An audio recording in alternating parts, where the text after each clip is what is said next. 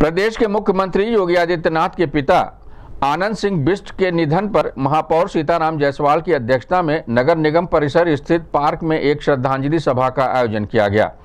इस मौके पर उत्तर प्रदेश के मुख्यमंत्री व नगर निगम गोरखपुर के पदेन सदस्य योगी आदित्यनाथ के पिता श्री आनंद सिंह बिष्ट के निधन पर नगर निगम के पार्षदों अधिकारियों एवं कर्मचारियों द्वारा सोशल डिस्टेंसिंग का पालन करते हुए शोक प्रस्ताव पारित किया गया तथा दो मिनट का मौन रखकर ईश्वर से प्रार्थना की गई।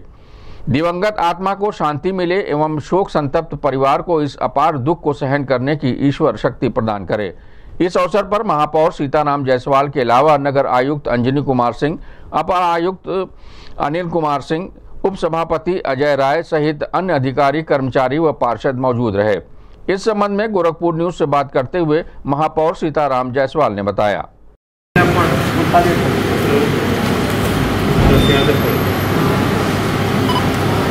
नगर निगम गोरखपुर के सदन के माननीय पदेन सदस्य योगी आदित्यनाथ जी के पिता श्री आनंद सिंह बिष्ट का आकस्मिक निधन आज दिनांक 20 चार 2020 को हो गया।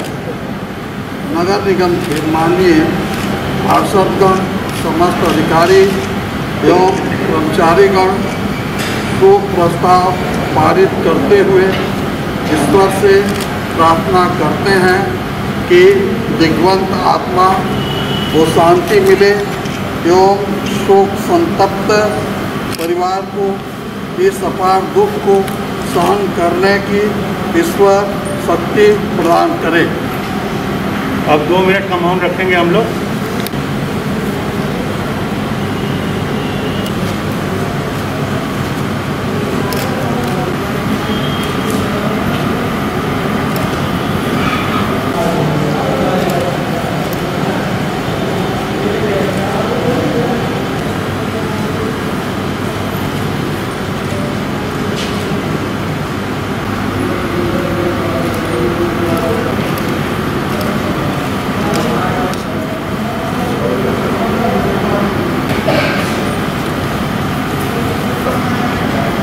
ओम शांति, ओम शांति, ओम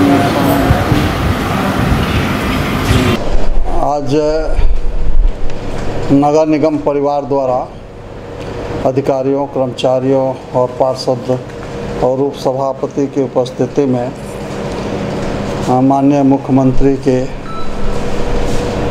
पिताजी श्री आनंद सिंह बिष्ट का आज निधन हो गया है। उसके लिए हम लोगों ने नगर निगम परिवार से शोक सभा आयोजित की थी, क्योंकि माननीय मुख्यमंत्री जी हमारे नगर निगम के पदेन सदस्य हैं। इसलिए हम लोगों ने उनके पिताजी की आकस्मिक मृत्यु पर शोक प्रस्ताव पारित किया है और बड़े ही दुख के साथ हम लोगों ने इस प्रस्ताव को पढ़ा है और उनके पूरे परिवार को भगवान ईश्वर शांति प्रदान करे। ईश्वर से कामना की है हम लोगों ने और दो मिनट का मौन रखकर उन्हें मौन श्रद्धांजलि दी गई है।